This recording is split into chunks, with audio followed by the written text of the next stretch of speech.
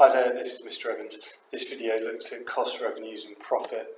Um, it's not actually specifically in the um, specification here, um, but these are really key terms that you need to understand uh, this finance unit, particularly the next few videos on um, break even.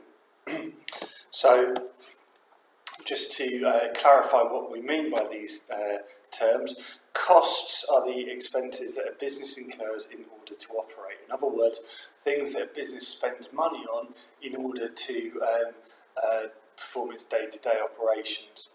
Um, we can categorise these as start-up costs, which are uh, one-off uh, expenditure items um, that are incurred at the setup stage of a business. Um, So that's what startup costs are. Uh, examples of vans and things. I'm not saying the business will keep the same vans forever, of course, we'll have to replace them at some point. Um, but these uh, startup costs are, are incurred when the business sets up. Um, running costs are the day-to-day -day costs incurred in order for a business to operate. Um, so these would be things like the wages that they need to pay, electricity bills, rent, and so on and so forth. Um, there's uh, two different types of cost um, that you need to be aware of. The first, and the definitions of both of these are absolutely key. Um, fixed costs are the cost to a business that say, stay the same regardless of output. And that little bit at the end there, regardless of output, is the key part of this definition. Um, if you forget to put that bit in, uh, then um, you're going to uh, probably receive no marks. Okay, so costs to the business that stay the same regardless of output. So what does that mean? It means if I'm a bakery, my fixed costs remain the same regardless if I make zero loaves of bread or a million loaves of bread. Okay, so for example, the rent on my factory, let's say the rent on my factory is uh, £10,000 a month if I make zero loaves of bread, um, I've still got to pay that rent. Um, if I make a million loaves of bread, the, the rent remains at 10,000. I've agreed that with the landlord. Um, it's just like if I pay rent on a flat. Um, I, have uh, agreed to pay that. It doesn't matter how often I sleep at the flat, how many nights a month I'm there. I still I can be there every night. I can be there no nights. If I've signed an agreement saying I'm going to pay that, the costs don't change regardless of output, how much I'm, I'm using it. And advertising is another example of this. Okay, it doesn't matter how, you know, if I take out a thousand pound advert in the paper, if I make no loaves of bread, that advert costs me a thousand pounds. If I make a million loaves of bread, that advert costs me a thousand pounds. Um, so uh, rent, advertising, rates are another example. Rates are a uh, a kind of tax that businesses UK pay. It's like the equivalent of council tax but for businesses. Um, salaries, if people are on a fixed annual salary, um, doesn't matter how many hours they work, that, that, that salary remains the same, it's fixed. Um, interest rate payments on loans, etc. These are uh, fixed costs in the short term. That's not to say that they can't change. Uh, it's not to say that the rent will forever remain fixed at a certain level. Um, but usually you agree rent for, for maybe 12 or 24 months or something like that. And so um, in the short term, these costs are fixed and agreed. Variable costs, on the other hand, are costs of business that change in relation to output. So there's that phrase again, output. So uh, examples of these would be materials, wages and distribution costs. Now in this case, if I make zero loaves of bread, how much do I spend on flour? Well, zero. I don't uh, use any flour.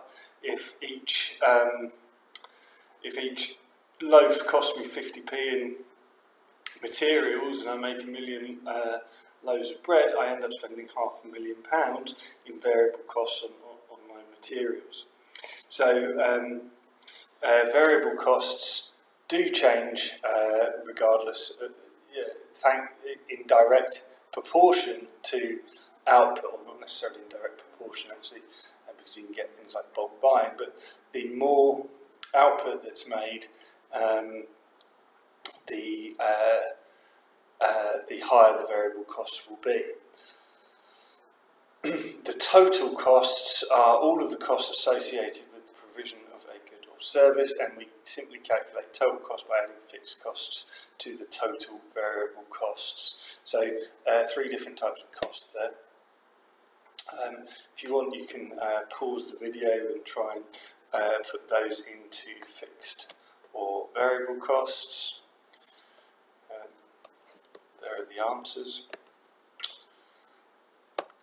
Um, okay, so uh, next key term that you need to know is revenue. So thought about our costs. Well, why do we bother incurring costs? Because we're trying to sell something. Uh, and uh, we want to sell that in return for money. And revenue is simply the money earned in return for a sale of a business's goods or services. So the formula for revenue is the selling price times the number of units sold. How much we sell each unit for times how many units we sell. If I'm selling uh, each loaf of bread for a pound and I sell a million of them, I'm going to get a million pounds in revenue. That, of course, doesn't take into account the costs. Um, this is simply how much money we're getting in for selling our product. Okay, it is sometimes called sales revenue, it is sometimes called receipts, it's sometimes called turnover. Um, they all mean the same thing. Um, it's key that you know the formula for calculating revenue, as uh, key as it is to know the, the formula for calculating total costs, um, and just be aware that revenue might be called uh, a couple of different things. Okay, so finally, profit.